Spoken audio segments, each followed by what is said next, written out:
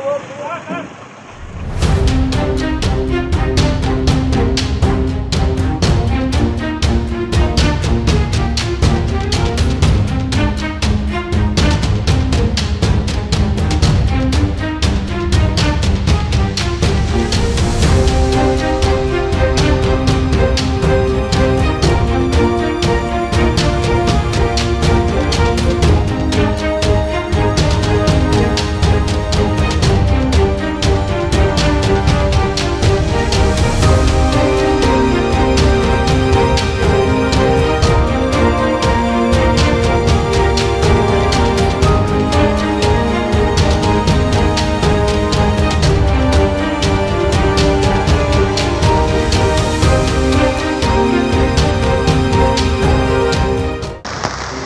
Pohon.